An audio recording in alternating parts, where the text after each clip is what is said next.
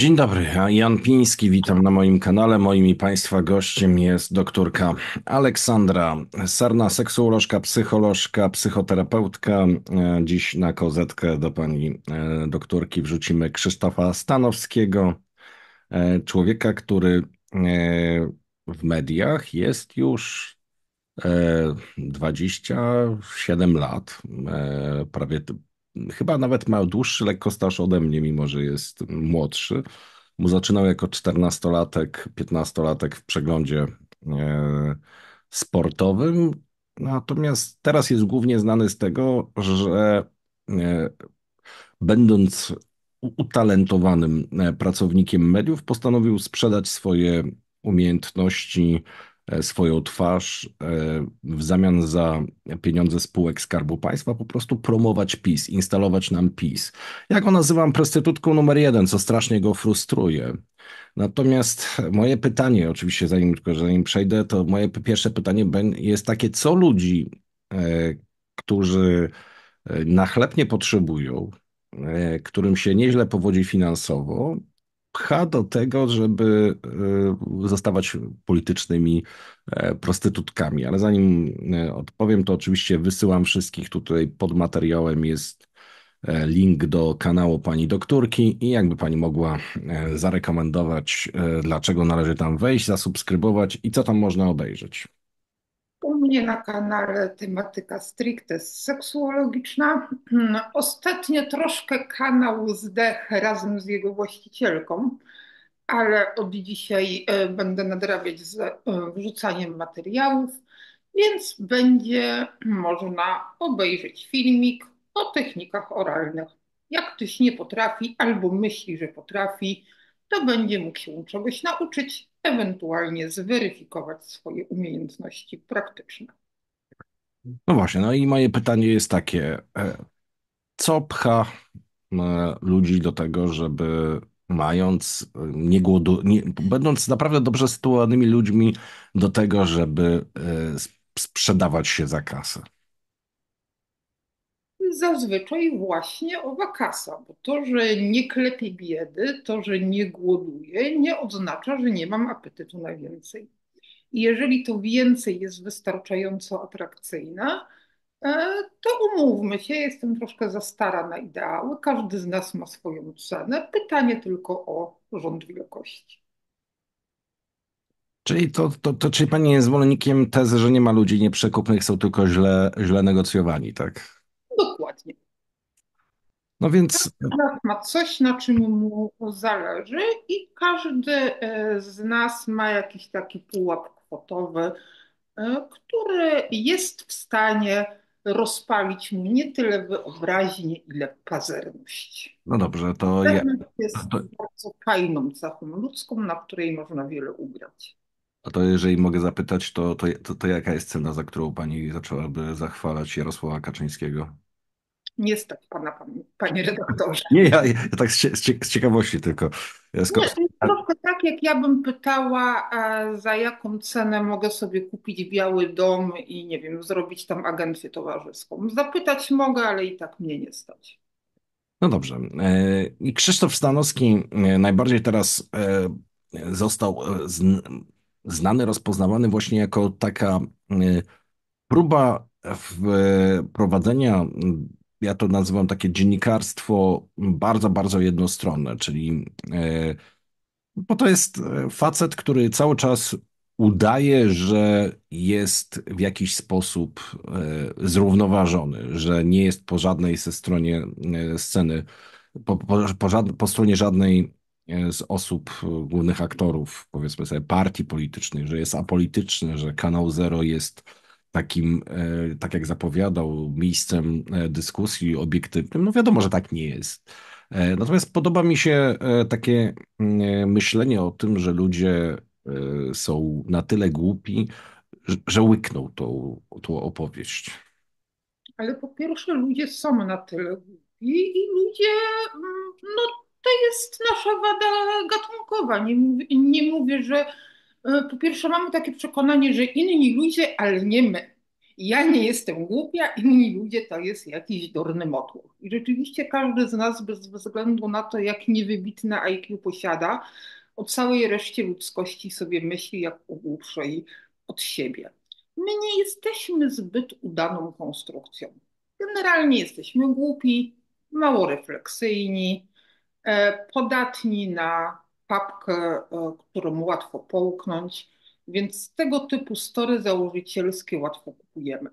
Ja mam e, pewną słabość do Stanowskiego i absolutnie nie zamierzam jej dzisiaj ukrywać, bo ja generalnie mam słabość do ludzi, którzy potrafią iść prosto i rzucić gumę jednocześnie, a Stanowski nawet jest level wyżej, bo on sprawia wrażenie, jakoby jeszcze potrafił trafić łyżką do ryja i to prawdopodobnie nawet za każdym razem, albo przynajmniej w większości wypadków.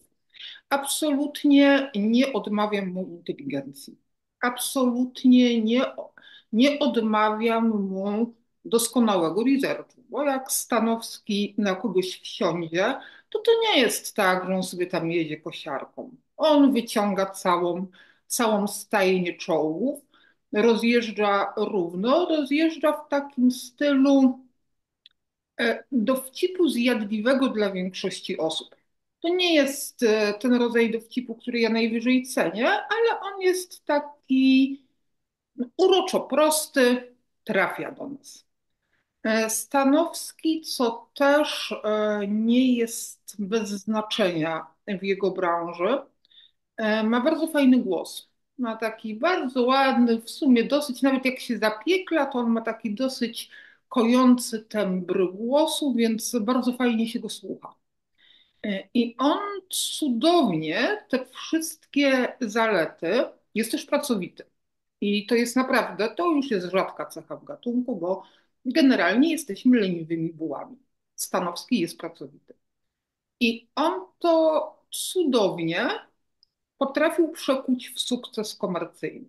W sukces e, e, pod tytułem rzeczywiście bardzo potężna oglądalność.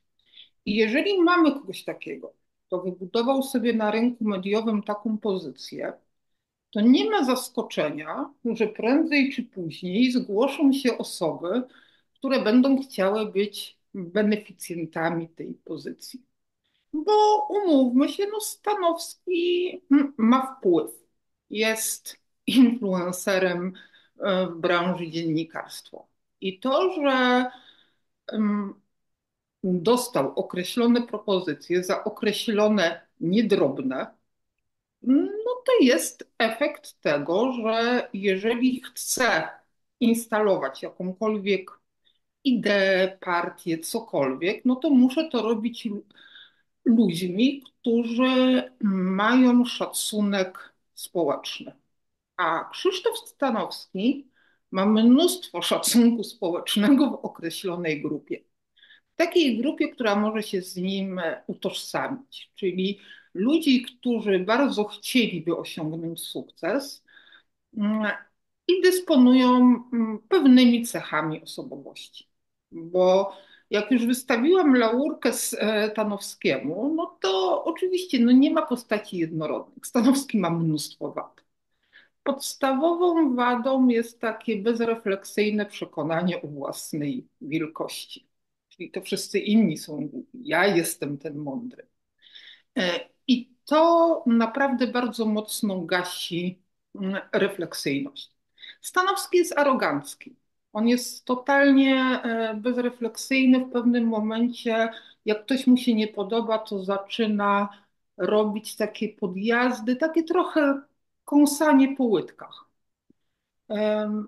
Nie lubię tego. To mi się absolutnie nie podoba. Jak gdzieś wyrzucił screena z naszego nagrania, nie był na tyle uprzejmy, e, żeby mnie oznaczyć, no bo w moim przypadku istnieje ryzyko, że ja odpyskuję i prawdopodobnie nie będzie to najgłupsza riposta na świecie, e, aczkolwiek nie twierdzę, że zawsze będzie najbardziej inteligentna, bo mm, potencjał intelektualny uruchamiam tam, gdzie on rzeczywiście mógłby znaleźć zastosowanie. Natomiast dla bandy chłopaczków Stanowski może być mega autorytetem. A ta banda chłopaczków ma prawa wyborcze. No, znaczy on jest przede wszystkim, został, to, ten taki proces jego korupcji, to ktoś wymyślił. E, To znaczy na początek to był układ biznesowy, czyli zrobili z niego, e, z niego twarz w TVP, bo mogli zrobić, żeby go wypromować. I potem się okazało, że jak założyli ten kanał sportowy, że mogą połączyć politykę ze sportem. E, I e, to wyszło w ten sposób. Bardzo charakterystyczne jest to, co ja zauważyłem. Myślę, że koledzy z kanału sportowego poczuli się lekko oszukani, przynajmniej taką mam informację, kiedy wyszło, że za materiały polityczne, które były puszczane na kanale sportowym, czyli ich domenie, wynagrodzenie w postaci świetnych kontraktów szło do spółki Weszło. Oczywiście tam kanał sportowy nie biedował.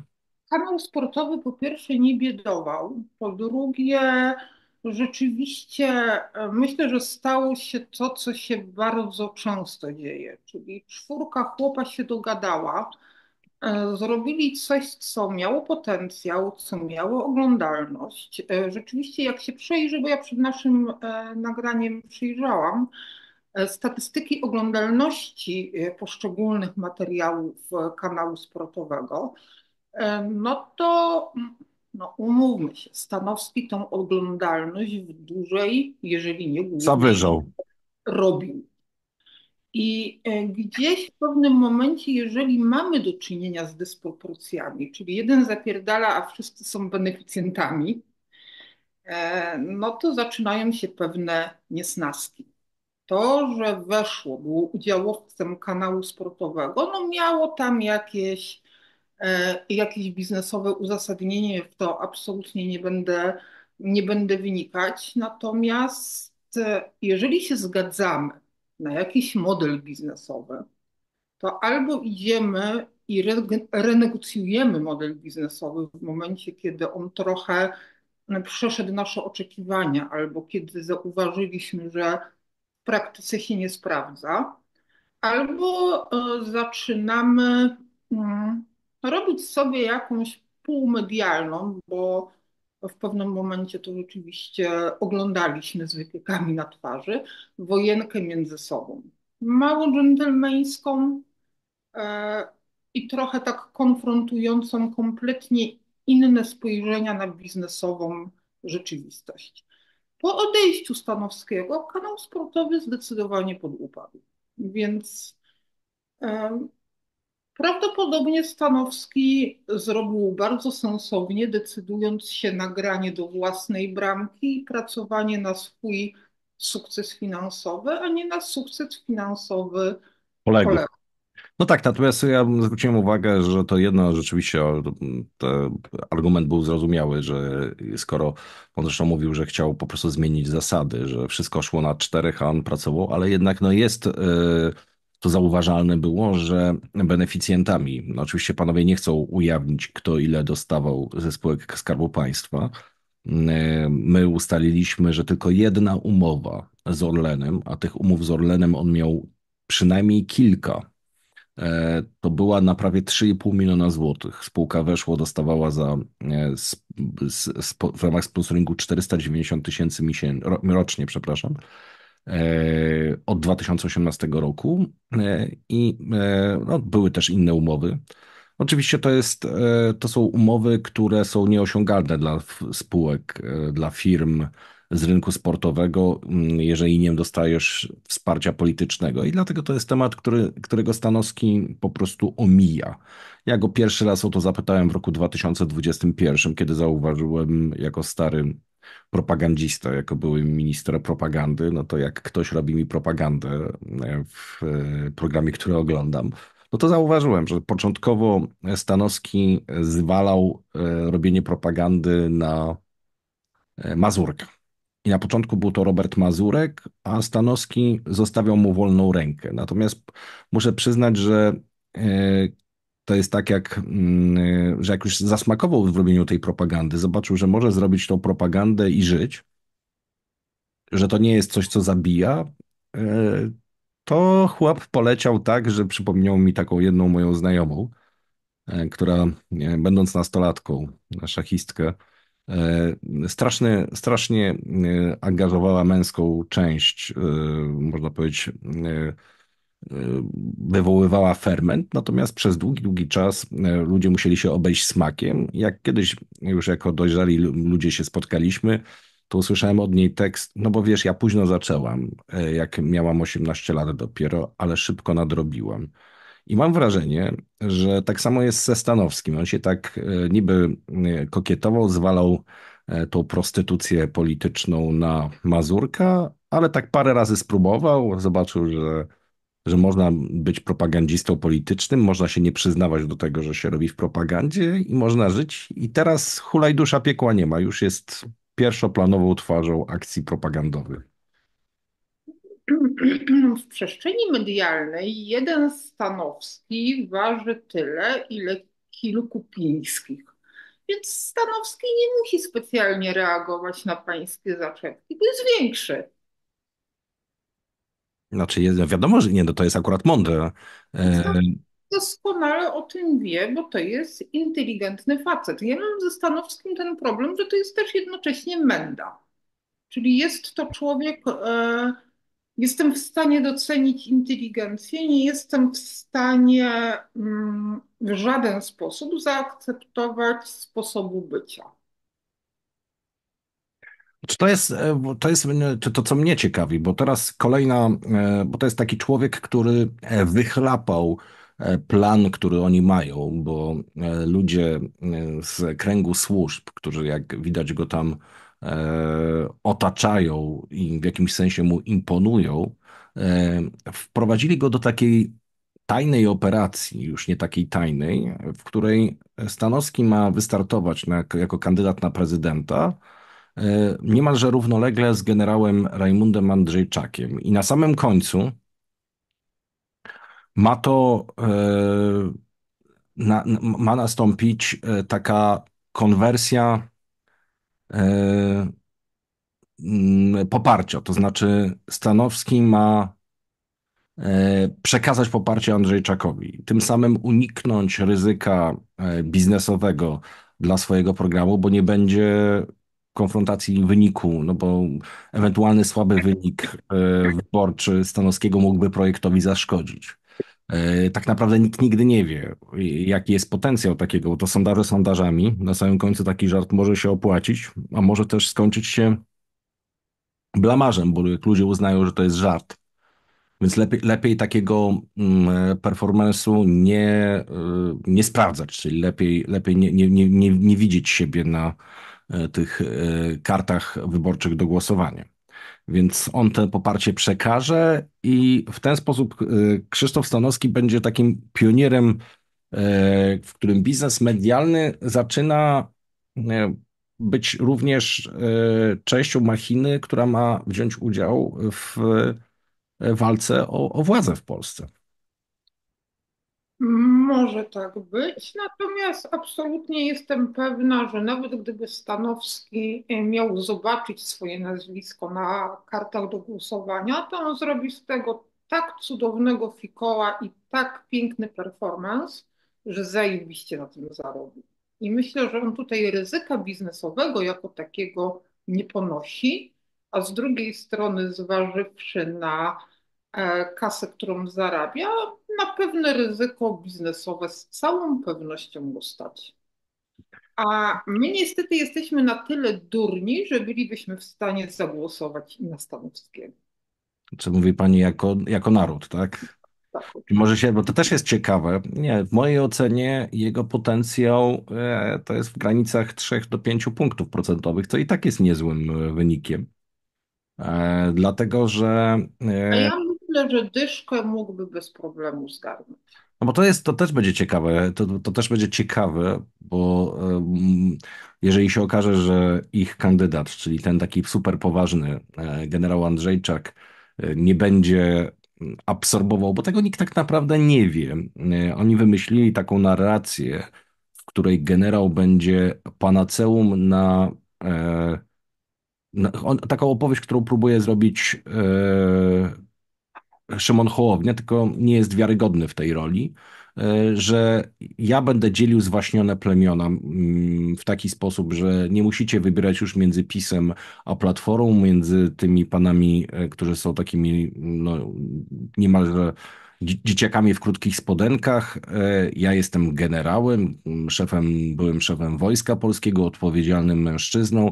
Ja tych smarkaczy porozstawiam do kąta. Ja jestem tutaj właściwym człowiekiem na właściwym miejscu. Fajna opowieść. E, wzorowana trochę na e, czeskim prezydencie, który właśnie na tym patencie wygrał wybory, pokazując się jako taki właśnie postawny mężczyzna, który przywróci jakieś priorytety w polityce. I i to jest ta opowieść, którą Stanowski będzie suflował. Natomiast rzeczywiście zabawne będzie, jeżeli się okaże, że, że jest lepszy niż e, główny produkt. Znaczy, e, jest lepszy niż główny produkt, ponieważ po pierwsze jest bardziej rozpoznawalny, a poza tym ta rozpoznawalność jest zbudowana na tym takim byciu samcem alfa. I obawiam się, że Stanowski jest zdecydowanie bardziej samcem alfa niż pan generał. No dobrze. E... A myślę, że chłopaczki gdzieś tam rozmodlone i wpaczone w Konfederację zdecydowanie chętniej poprą Stanowskiego. To też jest ciekawe, to tak, że, że Stanowski może wykończyć e, kandydaturę Mencena, e, bo, bo, to jest, bo to jest ten sam, bo to jest chyba ten, ten sam elektorat. To jest ten sam target, to jest ten sam elektorat, także Stanowski startujący w wyborach wykończy e, Mencena, no z jego na śniadanie i to bez najmniejszego problemu. No bo to jest, to jest, to jest najciekawsze, e, że mamy dziś e, człowieka, który jest tak po części, ja bym powiedział, że jest patocelebrytą dziennikarskim. Tam powiedziałem, że pato, dlatego że ten streaming, zresztą jemu się zdarzało, no to też jest ciekawe, jemu się zdarzało e, nagrywać e, no tak mocno na bani. E, I komentując to stwierdził, że jak będzie miał ochotę robić sobie takie live'y, to, to będzie robił. Na zasadzie, że... No się, mamy XXI wiek, pato streaming na bani się całkiem nieźle sprzedaje. E, a Stanowski ma silną pozycję i myślę, że nawet gdyby tam robił pato streaming nie tylko na bani, ale nawalony, nawalony w sztok, to nadal, mm, pomijając fakt, że to akurat chętnie obejrzą również wrogowie Stanowskiego, żeby mieć tę chwilę triumfu, e, o, Stanowski jest pijany, to przecież umówmy się, w tym samym biznesie chodzi wyłącznie o ilość wyświetleń przekładających się na zarobek. Także być, mo być może e, wcale nie, było, nie byłby to taki samowój biznesowy. I Stanowski o tym absolutnie i doskonale wie, bo to, co wiemy o Stanowskim, na pewno wśród wielu rzeczy, o których rozmawialiśmy, które wiemy chyba albo wiemy, ale nie mamy dos- wystarczająco wiarygodnego źródła, to na pewno wiemy, że Stanowski potrafi liczyć. No właśnie, ale jest pani taka dosyć łaskawa, jak dla człowieka, który, który, który, który po prostu uznał, że w zasadzie to nic nie stoi, bo to jest takie, e, to, to jest taka e, cecha jego, Mazurka, e, Ziemkiewicza, którzy uznali, że skoro PiS jest gotów płacić za to, żeby być w określony sposób pokazywany, żeby w określony sposób recenzować jego wrogów, to Jestem, jestem łaskawa, bo w e, odróżnieniu od Mazurka i Ziemkiewicza, mm, on jest trochę bardziej inteligentny od tych panów. A ja dla inteligencji mam sentyment, będę miała i nie zamierzam się tego sentymentu pozbywać. Nie jest to osoba, z którą ja bym e, chciała mieć cokolwiek wspólnego, kiedykolwiek. Ani zawodowo, ani prywatnie, nie ten vibe. E, Natomiast w pracy zawodowej chodzi o to, żeby ciężką pracę przełożyć na pieniądze. W kurwieniu się chodzi doskonale o to samo. Czyli przekładam pracę na pieniądze. Jeżeli Stanowski postanowił zostać instytutką, jego zbójeckie prawo każdy może, e, przynajmniej, przynajmniej robi to za naprawdę porządny hajs. I z, i, i z jakimś, i z jakimś, i z jakimś, i z jakimś, z jakimś tam wdziękiem, tak? Wdzięku jest w tym takiego aroganckiego, bucowatego wdzięku jest tym e, całkiem sporo. No ale umówmy się, jeżeli sobie obejrzymy ten cały rynek medialny prostytutek, których w Polsce jest do wyboru i koloru, to na tym rynku Stanowski nie jest żadną prostytutką, tylko luksusową kolger No albo tak, luksusowym eskortem. to prawda, że, e, że tu- tutaj można powiedzieć, wynegocjował sobie najlepsze z możliwych warunków, e, bo to ewidentnie jest tak, że mm, e, no, Poza tym dobra propaganda, panie redaktorze, to jest propaganda, która odnosi efekt, a nie która budzi nasze rozbawienie chamskim wpychaniem nam PiSu na e, łyżeczce. A Stanowski potrafi, i to on to robi absolutnie cudownie, zgrabnie. Tu skrytykuje Ziobrę, tu skrytykuje Fundusz Sprawiedliwości, tu puści jakiś żarcik. I to jest, e, mm, i to robi z tego nie taką chamską papkę na zasadzie macie i żryjcie, tylko okazuje się, że propaganda może być całkiem sympatycznym daniem. To oczywiście nie zmienia, e, nie zmienia tego, że nadal jest to propaganda i nadal, i nadal jest to sprzedawanie się. Aczkolwiek e, ja, zwy, ja zwykle, jak jakiś profesor odbiera nominację od Dudy, to sobie myślę, Jezu, co za upadek moralności i wszystkiego od Dudy by mnie wzięła. Ale potem sobie myślę, że łatwo nie brać czegoś, czego nie dają, nie? I że tak naprawdę e, konkretny dylemat moralny, etyczny, jakikolwiek, przeżywamy w momencie otrzymania konkretnej e, propozycji czegoś, co mogłoby być z jakiegoś powodu dla nas interesujące. I ja e, jestem ostatnią osobą, która będzie mm, rzucać kamieniami w kogoś, kto się sprzedał, e, znalazł nabywcę. Chwała mu za to. no właśnie, to jest, e, on, on jest bardzo ciekawy, znaczy st- strasznie, strasznie wiem, że cierpi z powodu tego, że wyświetlam, nazywam go prostytutką, e, chodzi po tym rynku, stara się e, zobaczyć, czy jest możliwość zrobienia ze, o mnie materiału, tak jak zrobił o Lizie Michalik.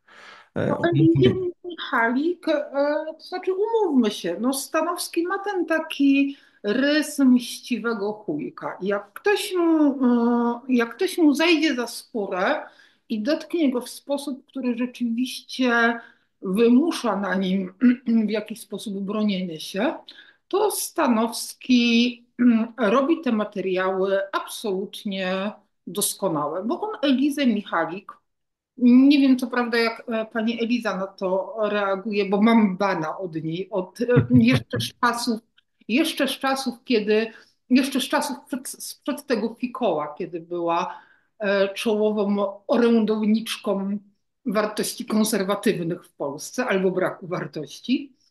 E, Natomiast on to zrobił absolutnie cudownie. Lizard Stanowski ma No, to nie było, to nie, ale to nie było trudne. Ja powiem, powiem w ten sposób. Ja, tak- nie, nie, nie. On, on opublikował tylko jedną informację, której ja nie znałem, e, czyli to, że e, ona się gdzieś miała starać o bycie rzecznikiem w Ministerstwie Kultury i prosić Zbigniewa Ziobrę o protekcję, bo reszta wszystka była znana. Była to rzeczywiście. Tarnowski pod tym względem i y, tu oddaję honor, bo e, dziennikarze, którzy się posługują plagiatem, jebać prądem. I Stanowski zgrabnie zebrał wszystko to, co wiedzieli wszyscy, ale nikt tego e, nigdy wyraźnie tak masowo nie poruszył. No, pani Eliza naprawdę powinna się zastanowić nie tylko nad swoim nader płynnym światopoglądem. Jest to absolutnie cudowne. To taka e, ciekawostka, co nam robią bańki poznawcze, nie? że jak ktoś e, przechodzi z naszych tak zwanych dopisu, to mówimy u co za kurę. A jak się dzieje na odwrót, to sobie mówimy uf, wreszcie zmądrzała. To jest dokładnie ten sam proces, nieważne w którą stronę ktoś e, przychodzi, jest to nagle jakiś spektakularny fikoł światopoglądowy, zbyt spektakularny, żeby go tłumaczyć refleksją czy rozumieniem pewnego procesu. Szczególnie jeżeli wykonuje go osoba, co do której kompetencji intelektualnych można mieć lekkie wątpliwości. Pani Eliza na ten materiał całą sobą głęboko zapracowała. A to, że ten materiał powstał, e, no bo pokąsała i głupio pokąsała Stanowskiego, bo gdyby miała więcej oleju w głowie, to pokąsałaby go w sposób Ale tam jest, ale to nie była, znaczy ona powiedziała, że on brał kasę z Funduszu Sprawiedliwości, ale to, to, to jakbym powiem tak, ja, to, dla nie mnie, brał kasy z a, nie, funduszu. a nie brał z Funduszu Sprawiedliwości, brał od spółek Skarbu Państwa e, i trzeba było po prostu, to ja, ja to powiem tak, to trochę tak jakby pani mm, Eliza powiedziała, że on dawał e, mm, cztery litery w hotelu Marriott, a się okazało, że to nie w Marriocie, tylko w Wiktorii. I, i nie, ale, ale generalnie co do, zasa- co do, co do zasady jest, to- jest to prawda. Dobra. ale jeżeli Ale nie, z, ale nie z Funduszu Sprawiedliwości. ale jeżeli nie chce mówić o jeżeli nie chce mówić publicznie o tym, że daje dupy, to bardzo rozsądnie jest właśnie zażądać natychmiast sprostowania, że nie daje dupy w Mariocie. No i nie, znaczy on jest, znaczy on jest, on jest e, mówię, to, znaczy to jest głęboka hipokryzja, że zareagował na oskarżenie, które rzeczywiście, no co do, co do tego, bo akurat z Funduszu Sprawiedliwości nie brał. Natomiast on brał, on brał, e, ja powiem tak, e, jest najwyżej wycenianą e, prostytutką. E, mówię o, o tych milionach, które otrzymywał. E, Stanowski. Nie, nie znam nikogo lepiej opłacanego. E, Podobne stawki, ja wiem mniej więcej, ponieważ ze mną negocjowano, e, to właśnie to były te, właśnie to są te stawki, które, w których idą, idzie usługa w miliony, w których jesteś w stanie wejść po prostu z nimi w relacje. Aczkolwiek ja zawsze się pytam, jak ktoś się mnie pyta, dlaczego ja, ja w to nie wszedłem, to ja mówię, że Człowiek, który mi pierwszy raz proponował układ polityczny z PiSem w roku 2006, e, był zbyt szczery. Po prostu. E, Zbyt szczerze to opisał, e, który, który po prostu, gdyby e, mm, zostawił jakieś niedopowiedzenia, jak ma wyglądać e, kwestia e, pracy dla PiSu, bo ja po prostu pamiętam, jak oni przepłacali dziennikarzy. To znaczy w czasach, kiedy dziennikarze zarabiali e, przyzwoicie, w tamtym czasie, to mówimy roku 2006-2007, to były pieniądze 7-8 tysięcy na rękę, to oni płacili po 25-35 tysięcy przez spółki Skarbu Państwa, oferując posady w Rzeczpospolitej. E, I to doprowadziło do tego, że e, dziennikarze szli do nich po prostu, no bo to jedna pensja e, załatwiała, dawała czasami tyle, co pół roku, rok wynagrodzenia w innej redakcji. I to jest takie bardzo, bardzo przyziemne. Panie redaktorze, bardzo przyziemny problem z takimi jak pan albo z takimi jak ja polega na tym, że my, jesteś, że my też jesteśmy stare prostytutki, tylko zajebiście drogie. A nikt już nie da takiej kasy starym kurwom, jak może sobie za ten hajs kupić 10 młodszych. Ja, ja, kiedyś to powiedziałem publicznie w 2002 roku, że to nie tak, że jesteśmy nieprzekupni z Tomkiem, tylko wy ca cały czas po prostu zbyt, zbyt małymi kwotami rzucacie. I jak wtedy to się zagotowało, to przełaziły ci pośrednicy, to powiedzcie ile. Powiedzcie ile. I tu odpowiedź była i tak was nie stać. I e, to właśnie to była ta kwestia, że e, pieniądze, które by wchodziły ewentualnie e, w rachubę są nie do zapłacenia. W związku z tym bo to jest, to są tego, to sobie pożartowaliśmy. E, No to już na, na podsumowanie.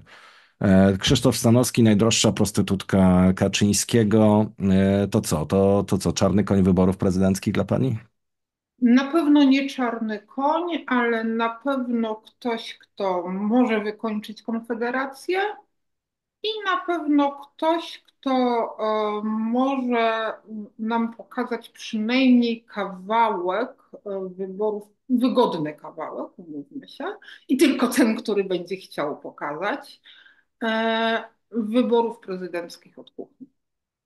No tak, bo on po prostu, no wiadomo, no, poka pokaże to, co jest, to jak wygląda e, pomysł na kampanię, pomysł na ten. To jest tylko, że jak człowiek od razu y, startuje z zapowiedzią, że jest to happening, to pytanie jest takie, czy ludzie go będą traktować jako po, poważnie.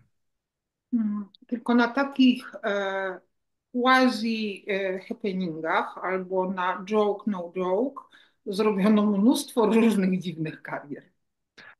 Szanowni Państwo, przypominam, e, kanał doktorki Aleksandry Sarny jest tutaj pod e, materiałem, a ja e, informuję, że wydaliśmy Choluba dwójkę, którego można który można kupić na hognot.pl jako audiobooka na platformy Empik Go, legimi.com i Audioteka zostanie załadowany w tygodniu.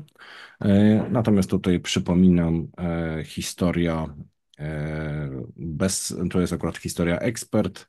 Jest też oczywiście Holub 1, drodzy Państwo, więc polecamy jedynkę i dwójkę. Najlepiej, kto jeszcze nie ma jedynki, to, to pakiet, wersję papierową wysyłamy od piątku 22 listopada, a ja Państwu i mojej gościni mówię do zobaczenia. Do zobaczenia.